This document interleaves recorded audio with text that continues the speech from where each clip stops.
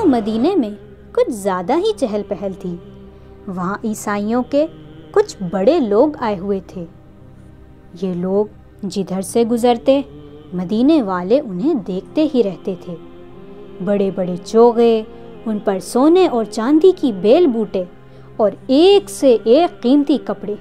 ये किसी मुल्क के बादशाह नहीं थे, बल्कि ये नजरान कबीले के पादरियों की टोली थी। इस टोली में तौरेत और इंजील जैसी बड़ी बड़ी आसमानी किताबों के आलिम भी थे। ये लोग रसूल अल्लाह के पास पहुँचे और आपसे कहा, हज़रत ईसा अल्लाह के बेटे हैं, क्योंकि वो बग़ैर बाप के पैदा हुए हैं। रसूल खुदा उन लोगों को क़ुरान की आयतें पढ़ पढ़ कर सुनाते रहे, मगर उन्होंने आपका कलमा नहीं पढ़ा। खुदा ने अपने प्यारे नबी को हुक्म दिया कि ये लोग इस तरह मानने वाले नहीं हैं।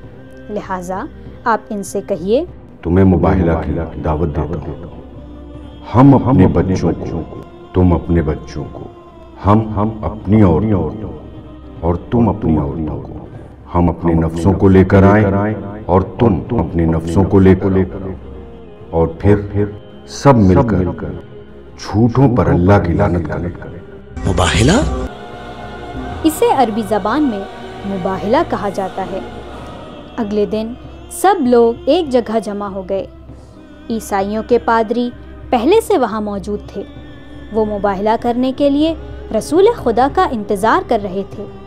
एक बार शोर उठा। वो देखो, अल्लाह के प्यारे नबी आ रहे हैं। आपके साथ इमाम हसन और इमाम हुसैन भी थे। पीछे पीछे आपकी प्यारी बेटी हज़रत फ़ातिमा जहरा और आपके दामाद हज़रत अली भी थे। इन लोगों का रोबो जलाल देखकर ईसाई घबरा गए। इनसे हरगिज़ मुबाहला ना करना। अगर ये पहाड़ को इशारा कर दें तो वो अपनी जगह छोड़ देगा। अगर इन्होंने हमारे लिए बद कर दी तो दुनिया में हमारा कोई नाम और निशान न रहेगा। इनसे कहो बद ना करें। इनसे कह दो, हमारे लिए बद ना करें। ए मोहम्मद बद ना करना। ए मोहम्मद बद ना करना।